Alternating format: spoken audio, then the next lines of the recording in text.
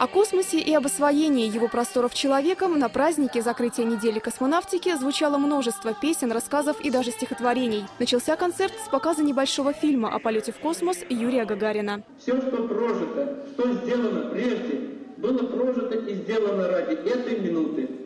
Сами понимаете. Танцевальные коллективы и вокальные ансамбли Дворца детского и юношеского творчества имени первого космонавта планеты один за другим сменяли друг друга. И песни, и танцы, звучавшие на празднике, объединены были одной темой – первого полета человека в космос. После красочных номеров на сцену поднялись победители областного конкурса «Созвездие Гагарина».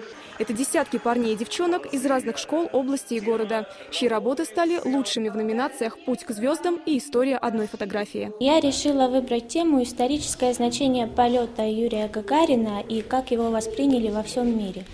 Потому что у меня папа очень увлекался работами, ну, полетом Гагарина, много мне об этом рассказывал. Моя тема – это развитие отечественных ракетных двигателей на жидком топливе.